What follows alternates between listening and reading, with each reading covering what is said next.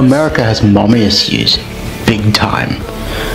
Fantasizing about the old mother country, especially Ireland. By the way, I bet you thought this was Ireland behind me, didn't you? Because you've never actually been to these islands. This is Scotland.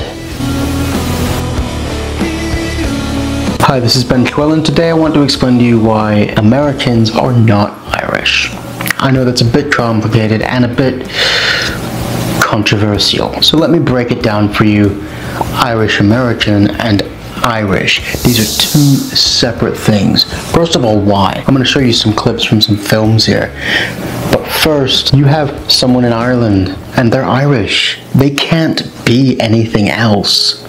But if you say that you're Irish American, you can say that you're American and you can drop the Irish bit.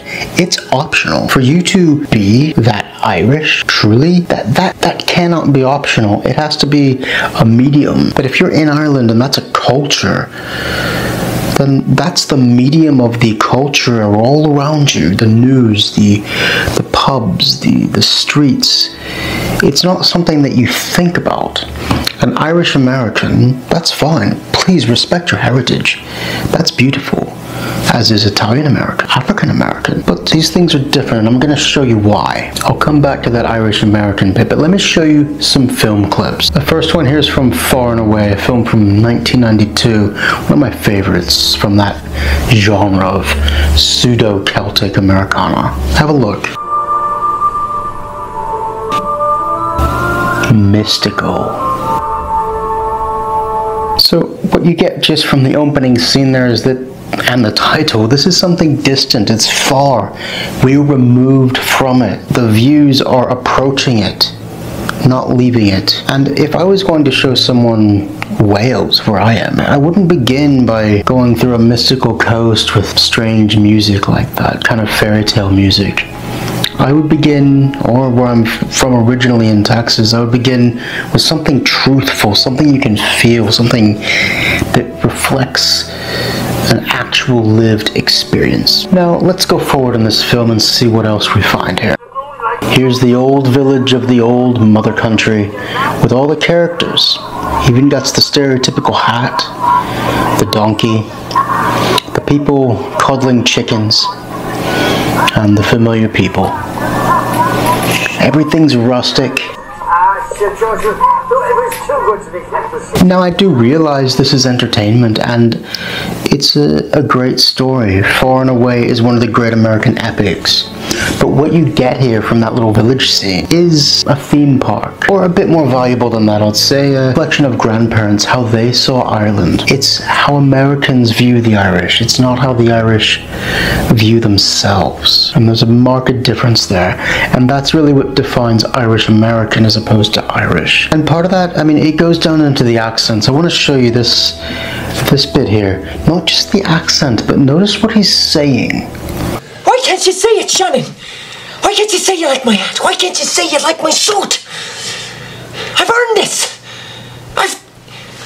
It's epic far and away. I mean, it's a long film, and it it begins in Ireland and then transgresses to Boston and the the immigrant experience and the, the workhouses and the, the, the saloons there and then going out west, to estate claiming land. It is a really great experience, but it's not in values. It's not Irish.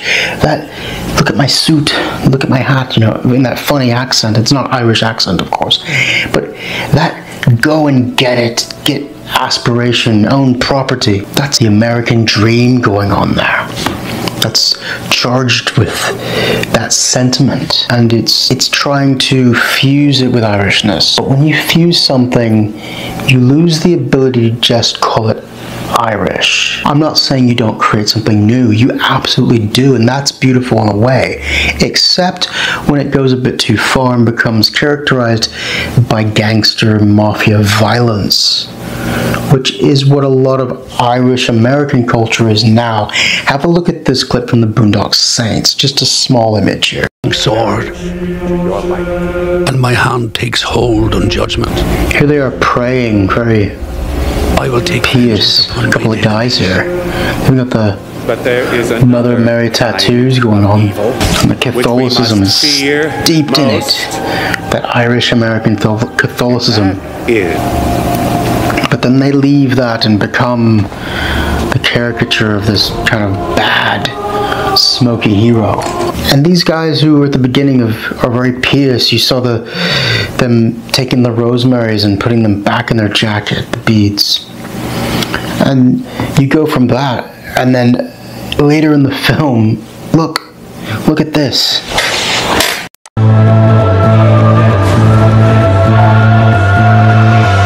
And then look at it. I mean, they're shooting an angel, killing an angel, a symbol of their own religion. Juxtaposition there is, is, is mad. So that cross between being very pious earlier on in the film and then just outright killing people and having a gunfight and having an angel shot to pieces, it's not Irish, certainly. And there's a lot of this in our culture that there's a connection to violence through Irishness. And if you've ever met many Irish people, they're not really violent. They're nice people. So, and I know it's Hollywood and it's entertainment, but there's a danger of getting lost in this Hollywood view of what Irish is and not actually engaging with the Irish culture of today. Ireland is certainly not the only old mother country we do this with. I have some Scottish ancestry, and I got hooked into the idea of Highlander as a kid. And just look at these couple of clips from Highlander, and you'll get what I mean. Lose your temper.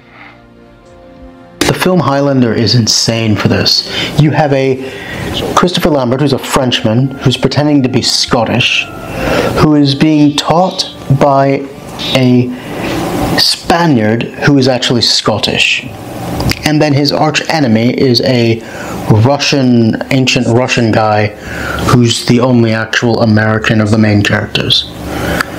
I mean, that is some serious identity mommy issue psychosis going on with American culture. For those of us who are from America, even if we live over here in Europe in Wales like I do, our culture has a serious complexity with not actually understanding the roots of our own culture and how what we think it is is vastly different from what the cultures are.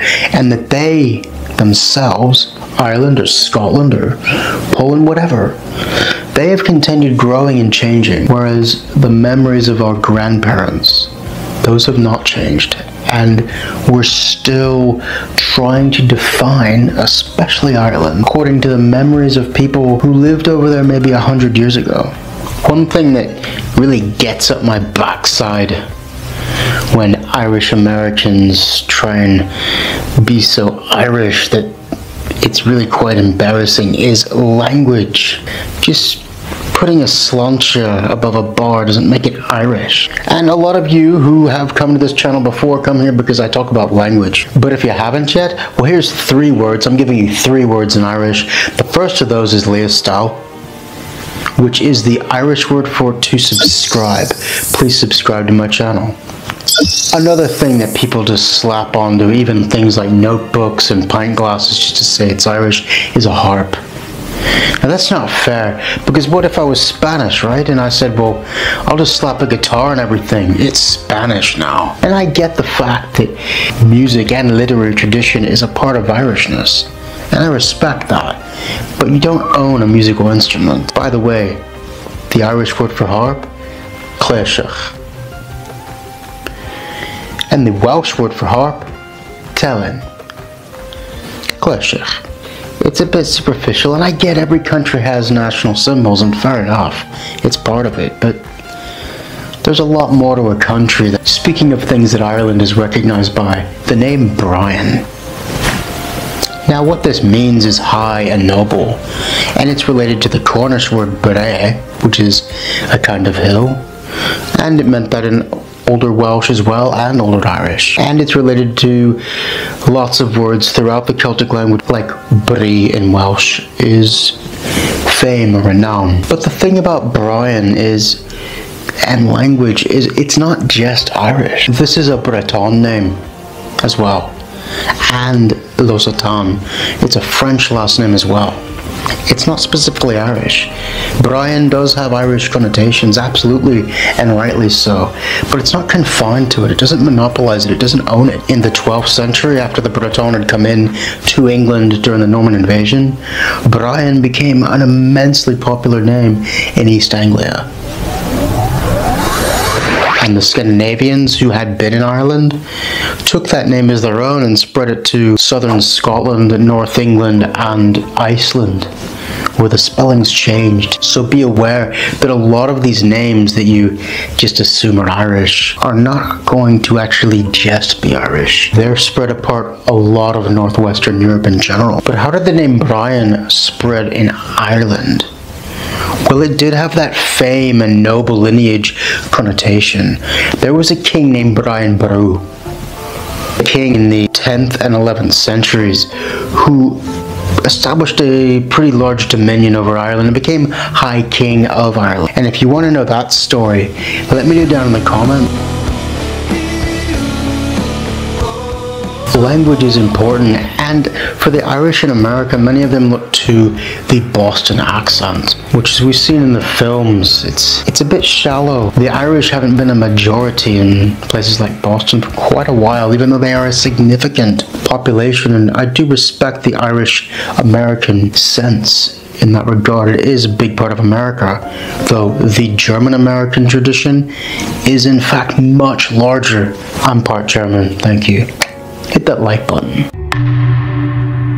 In this regard of language, the Canadians to the north have much deeper claim over continuation from Ireland and Scotland for that matter than Americans do. Because when you come to a country and you maintain a group which speaks the same language over generations that's not the same language of the new nation that you're in, that I could say, yeah, you're Irish in that case. You're Scottish. You're still holding on to a language. And if you go north to Canada, you have an area, Cape Breton which a couple thousand people speak Scottish Gaelic. And this has persisted from the 1770s. A bit further north, you had Newfoundland, and there were Irish speaking communities on this land mass until relatively recently. And that's quite significant, and that cultural memory really does retain itself. And the Canadians have something really interesting which America doesn't. They have a Gaeltacht, or they're trying to create one.